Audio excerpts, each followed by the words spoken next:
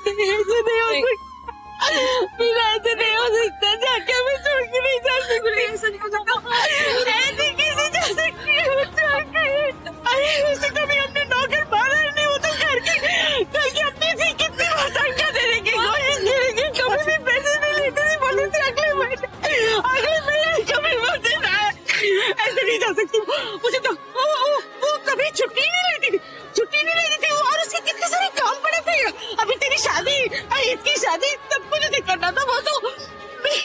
तुम्हें भी अपनी बेटियाँ मानती थी ऐसे नहीं हो जा सकती।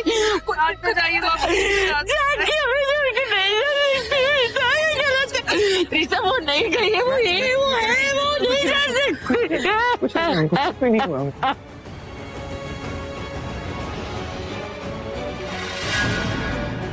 यार आप लोग ऐसा रहोगे तो मेरा क्या होगा यार? सीरियसली पापा आप आप ऐसे रोएँगे तो उन दोनों का क्या होगा उनको भी तो संभालने के लिए कोई चाहिए ना? प्लीज़ आप जान के आंटी किधर भी होंगे, उनको कितना दुख लगेगा उनको आप ऐसे रो रही है आप आप प्लीज़ रोइए मत प्लीज़ मेरे लिए प्लीज़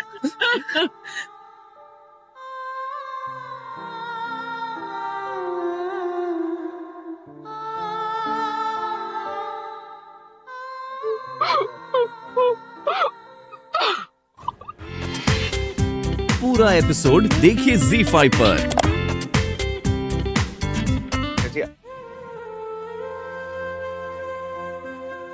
रीता जी मैं आपसे रिक्वेस्ट कर रहा हूँ कि आप मैं जानता हूँ कि आप दुखी हैं लेकिन आप करण से मैं अगली हूँ। बहुत अगली हूँ। हमेशा अगली दिखती हूँ। I don't need to know it from you मैं जानता हूँ अपने छोटे भाई को ये थोड़ा उसको बात करने की अकल नहीं है लेकिन वो ऐसा नहीं है जैसा आप सोच रही हैं। वो बहुत इमोशनल है बहुत सॉफ्ट हार्टेड है वो। मैं जानता हूँ कि आपको जानकी आंटी के जाने का बहुत दुख है लेकिन मैं आपको दावे के साथ एक बात बोल सकता हूँ प्रीता जी। इसका दुख आपके दुख से कम नहीं होगा। जब हमारे पापा को हार्ट अटैक आया था ना ये छोटा था ये मैंने देखा था इसको। कैसे ये कोने में बैठ के सुबह सुबह के रो रहा था। और इसको तो कोई ये बोलने वाला भी नहीं था कि तू चुप हो जा। लुकिंग टेरेबल सिर्फ़ शब्दों का थोड़ा सा हेर फेर और कुछ नहीं। अगर आप उन्हीं शब्दों को किसी और नज़रिए से देखेंगे तो आपको समझ में आएगा कि ये वो नहीं कह रहा था जो आप सोच रही हैं। He said, "Do not cry, you're looking terrible." बड़ी बेटी होने के नाते एक बहन होने के नाते आपका इन दोनों रिलेशंस के प्रति एक फ़र्ज़ बनता है। अगर आप रोएँगी जिनकी हम मिसाल देते हैं ये वक्त आपके रोने का नहीं है प्रीता जी ये वक्त आपको उनके आँसू पहुँचने का है। आप कैसे कमज़ोर पड़ सकती हैं प्रीता जी ये ये समझाना चाहता था। नहीं, जब मेरे फादर को हार्ट अटैक आया था, मैं कॉलेज में था, और जो अभी इसने आपसे कहा ना, वो तो मेरे से किसी ने नहीं कहा था। शायद कहा होता, काश कहा होता। अगर कहा होता तो जो मैंने दो महीने के बाद किया था ना, वो मैं शायद पहले कर लेता। दो महीने के बाद मैं अपनी मॉम के पास गया, उनके आँसू पोछे, अपने भाई के पास आया, उनके आँसू पोछे, अपने पूरे परिवार को संभाला। लेकिन उस वक्त इन सब बातों की जब ज़रूरत थी, तब मैंने नहीं किया। तब मैंने वो किया जो सब लोगों ने किया, उनके साथ बैठ के रोया लेकिन उससे सिचुएशंस नहीं सही हुई। उनसे सिचुएशंस बदली नहीं इसलिए मैं आपसे सिर्फ़ रिक्वेस्ट कर रहा हूँ कि आप आप ऐसा मत सोचिए। मैं जानता हूँ कितना सेंसिटिव है। घर जाके मेरे गले रख के रोएगा। अरे आप ऐसे चुपके क्यों बैठे हैं? बेबी क्योंकि करण और ऋषभ की गाड़ी किसी भी वक्त हमारी गाड़ी से क्रॉस करने वाली है इसलिए।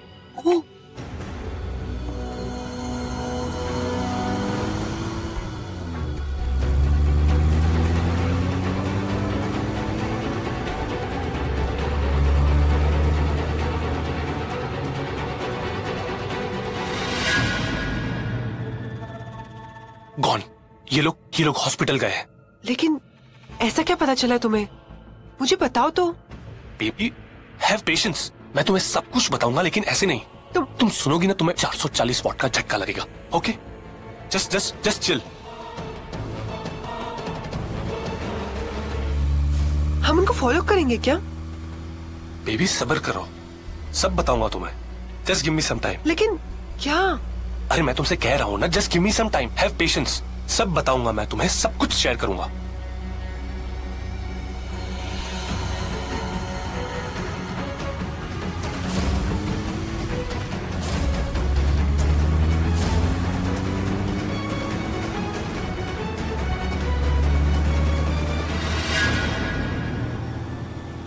लेकिन हम जा कहाँ रहे हैं? और करण और ऋषभ तो इस रास्ते से नहीं गए।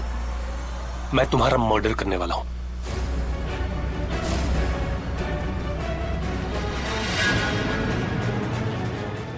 आओ। हेलो क्रिस्ट केयर हॉस्पिटल या excuse me in a line in a line अरे हम लोग सब एक साथ हैं। मैंने आपको थोड़ी देर पहले फ़ोन किया था ना। वो लेडी जिनके बारे में आपने बताया था कि शी इज़ नो मोर हम उन्हें या या सचिन uh, इन्हीं मॉक रूम ले जाओ। ये फाइल्स में आया हेलो हाँ सर बोलिए। आइए आप लोग।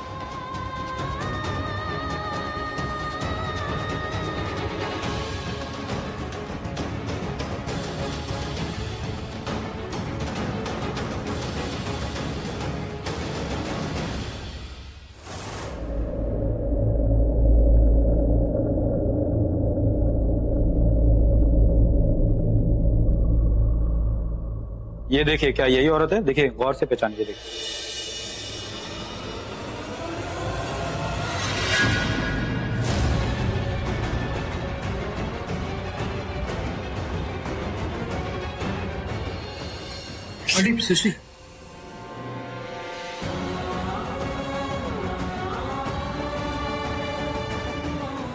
ये अरे ये वो लेडी है जिनकी बात हम कर रहे थे। ये हमारी जान की आंटी नहीं है। आप हम एक गलत महिला के पास ले आए अरे मैडम मैं आपको गलत औरत के पास क्यों लेके आऊँगा? आज की रात हमारे हॉस्पिटल में एक ही औरत जलकर मरी है और वो ये है। यार आप मेरी बात सुनिए ये वो नहीं है जिनको हम ढूंढ रहे हैं। इसका मतलब इसका मतलब जान की आंटी ज़िंदा है। माँ जान आंटी ज़िंदा है। अपना फ़ोन कर शशि देखिए अ, मैं इनकी बात कर रही हूँ। ये ये इस हॉस्पिटल में आई है? ये इस हॉस्पिटल हाँ मैं इनकी बात कर रही हूँ। इनको नहीं पता होगा रिसेप्शनिस्ट कहाँ रहा होगा। चल चल चल। नहीं नहीं नहीं नहीं ऐसा भी हो सकता है ना कि जानकी आंटी घर चली गई हो? नहीं सृष्टि ऐसा नहीं हो सकता। वो उस बंदे ने कहा था ना कि उनका एक्सीडेंट हो गया है और बहुत खून बहा है। मुझे नहीं लगता कि ऐसी हालत में वो अकेले घर गई होंगी। लेकिन एक बात तो पक्की है। जानकी आंटी हमारे घर आ रही थी। कुछ बताने के लिए समथिंग वेरी अर्जेंट यार। उनको ज़रूर कुछ याद आया होगा कर और मुझे तो लगता है उनको कुमकुम भाग्य हॉल की आग वाला कुछ याद आया होगा। मुझे लगता है उसे जो भी याद आया है ना वो हमारे लिए बहुत ज़रूरी है। फ़िलहाल इस वक्त तो बस वो ठीक हो। चलिए पूछते I am really sorry ma'am आप इनकी बात कर रही थी। एक्चुअली ये तो ज़िंदा है इनका इलाज चल रहा है।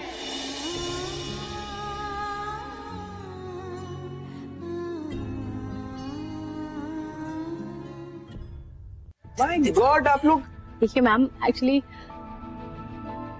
जिस टाइम आपका कॉल आया उस टाइम यहाँ बहुत रश था और गैस ब्लास्ट विक्टिम्स के इतने कॉल आ रहे थे कि मैंने गलती से आपको ये बता दिया कि उनकी डेथ हो गई। I am really sorry sorry ना। सॉरी का राग गाना बंद कीजिए और ये बताइए कि जानकी आंटी कहाँ है? फ़र्स्ट फ्लोर पे इमरजेंसी वार्ड के बगल में। चल चल। sir, ये उस पेशेंट के लिए कुछ फॉर्मेलिटीज हैं।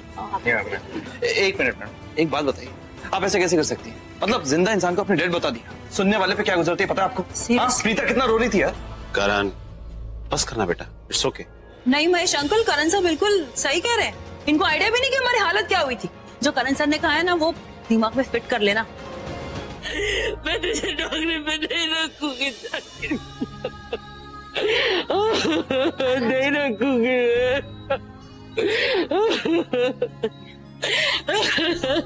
बस माँ बस प्लीज़ अच्छी और खुशी की बात यह है जान के आंटी बिल्कुल ठीक है।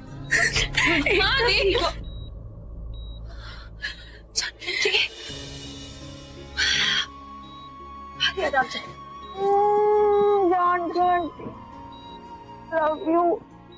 आपको पता है ये तो अच्छा हुआ कि आप टाइम पे मिल गए। हम लोग आपको इतना ढूंढ रहे थे गॉड की सीरियस कसम अगर आप मुझे रास्ते पे मिल जाते ना तो वही ठोक देती। शूटेड साइड ही कर देती। क्या? क्या? है ये लड़की? कम से कम वक्त देखकर तो मज़ाक किया कर। कैसे? पागल है ये कुछ भी बोलते। दी आप है ना मेरे और जानकी आंटी के बीच में मत आओ ठीक है ना? मैं सबसे छोटी और सबकी फेवरेट तो मैं कुछ भी बोल सकती हूँ इनको। है ना जानकी आंटी? और वैसे भी इतना टेंशन दिया इन्होंने थोड़ा डांटू नहीं किया मैं इनको? जानकी आंटी आप ठीक तो है ना?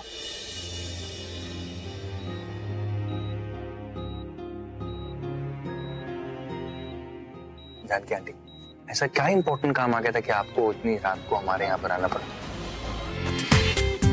पूरा एपिसोड देखिए जी फाइव पर।